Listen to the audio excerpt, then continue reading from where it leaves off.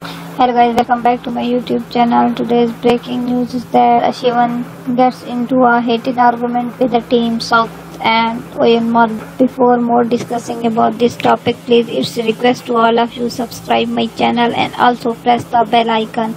Delhi Capitals are currently playing against the Kolkata Knight Riders in the 41 match of the Indian Premier League 2021 in Sharjah.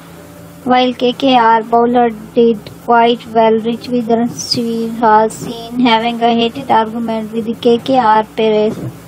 Tim Southee and Eoin Morgan in the last over. Winning the toss, the KKR captain Eoin Morgan asked Delhi to bat. KKR bowlers started well by dismissing Dhawan in the probably only. While middle order failed miserably.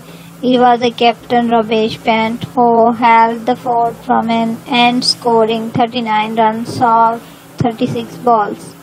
At the end of the video, please it's again request to all of you subscribe my channel and also press the bell icon and don't forget to share and like my videos. Thanks for the watching.